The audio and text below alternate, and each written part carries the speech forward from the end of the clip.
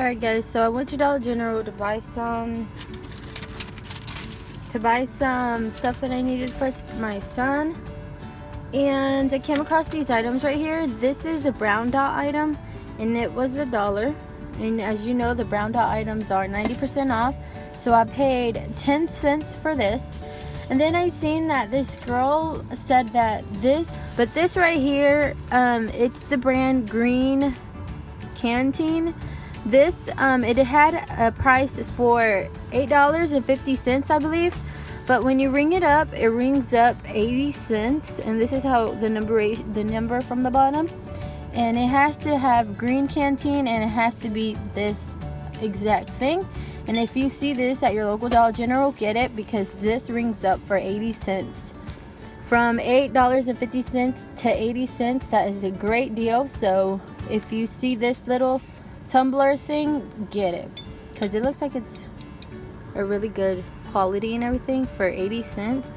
Yes. So yeah guys i just want to show you guys what i got today from big lots and a few items from dollar general. So yeah. so i just got out of big, lot, big lots. Um, if you didn't know big lots all their baby accessories are 75 percent off and it includes um, blankets sippy cups and all kinds of other stuff i kind of took a picture a video of it so y'all can see but um, the this blanket right here, the blue one was a dollar fifty. The white one was two dollars. The Christmas um, little socks were a dollar. The Mickey Mouse um, sippy cups were a dollar, and the um, Ninja Turtle ones was 75 cents.